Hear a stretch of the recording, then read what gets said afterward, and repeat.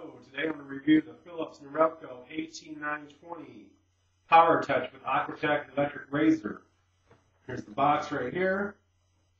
Uh, we got the razor. It comes with uh, a cap for the razor, of course, a travel case, and a brush to clean out your razor and your trimmer. Here's the razor itself. As you can see, it's, it's built really well. It, it, it just fits in your hands perfectly. Got this rubber grip right here, which is excellent for when you're using it with the wet. It's a wet dry razor, of course.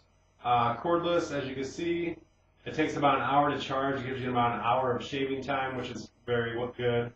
It has this pivoting head right here, which works excellent. You know, when you're getting around the sides here, around your chin, the Adam's apple, it just works great. Um, it's very, very easy to clean. You just press this tab right here, lifts up, you spray it out with water, and you're good to go. I mean, it cleans up excellent. Better than pretty much any razor I've ever had as far as cleaning up.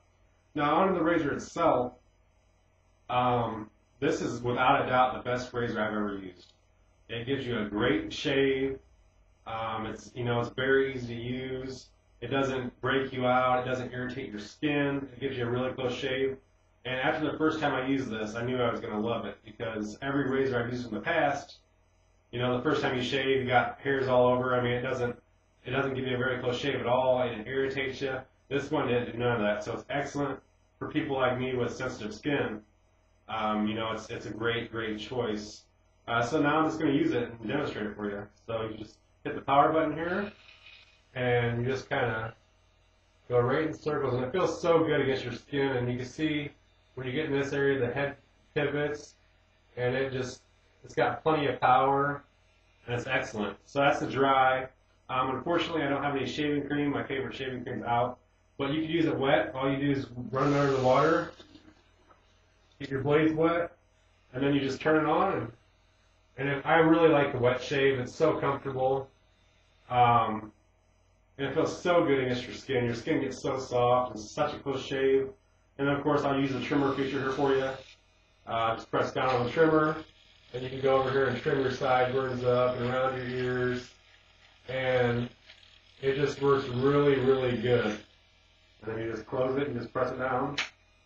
Um, overall, the Philips Norelco Touch AT920 Power Touch is the best razor I've ever used. Uh, it's like I said, it's perfect for people with sensitive skin. It's perfect for people looking for a clean shave.